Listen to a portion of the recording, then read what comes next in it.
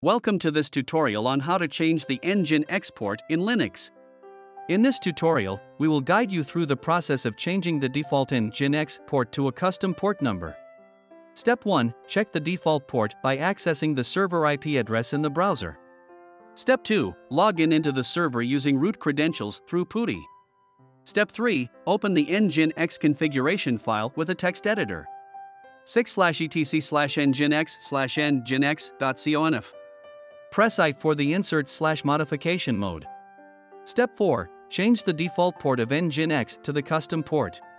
Before change, the port is 80, as shown below in the screenshot.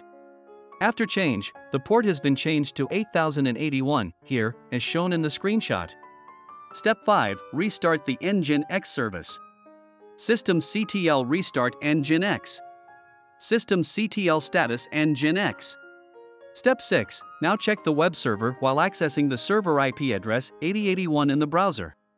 URL, domain name or server IP colon 8081.